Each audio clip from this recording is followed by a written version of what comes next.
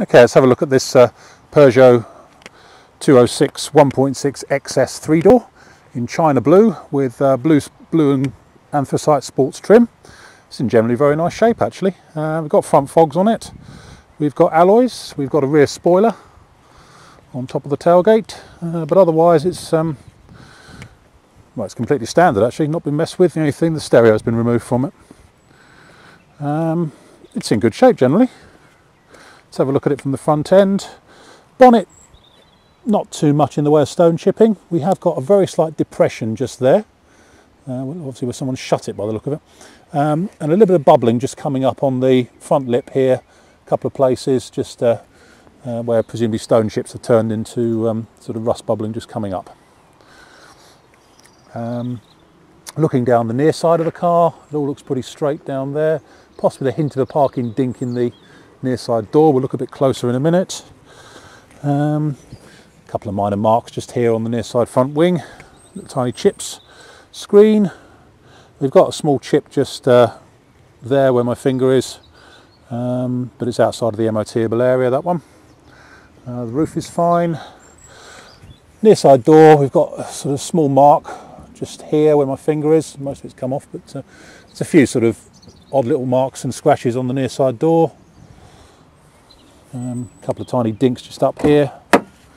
Inside in the passenger seat, seems to be a non-smoker's car. It probably could benefit from a better valance thus far had. It needs a vacuum certainly, which we'll give it before it goes out. But um, the interior is nice. It doesn't appear to have been smoked in at all. Front seats are good. Rear seats are fine. Nothing there at all to worry about. Um, as I just a hole where the stereo should be. There's a long scratch from there to there on the near side rear wing.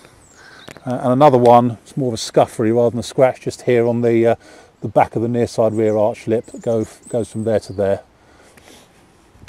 Um, carrying on round, it's okay around the tailgate area and the rear bumper. Looking down the offside, pretty straight once again, couple of very tiny parking depressions in the offside rear wing. I can see just around there, very small ones. Once again, a couple of minor marks and scratches on the offside doors, as you'd expect with uh, uh, one of this sort of age.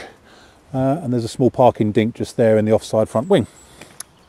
Uh, screen on the offside is fine. No, that's absolutely no problem at all. Looking in the inside here, it's just been through the car wash, so I must have wet feet in the in the footwell.